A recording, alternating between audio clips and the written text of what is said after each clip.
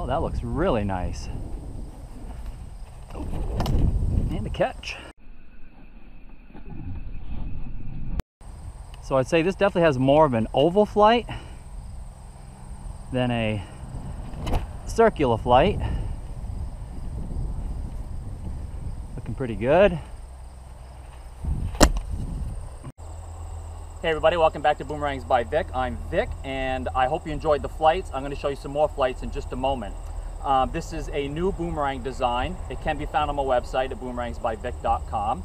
And I make them for left and right-handed throwers. This is the lefty, this is the righty. Uh, they are for beginners, so if you've never thrown before, this is a great boomerang to start out with, and I hope you enjoyed the flights. And I'm going to show you some more right now. Don't forget to subscribe hit the little bell to get notifications so you know whenever I upload a new video or a new design. Okay, everybody, thanks for stopping by. Okay, so we got a breeze coming straight at us. I'm gonna throw up high, a little off of vertical, and just a little bit to the right of the breeze. The breeze is coming in just like this, so I'm gonna throw it right about here.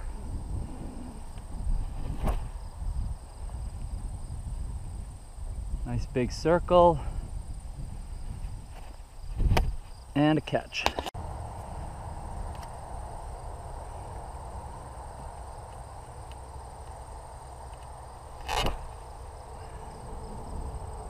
Oh, very nice.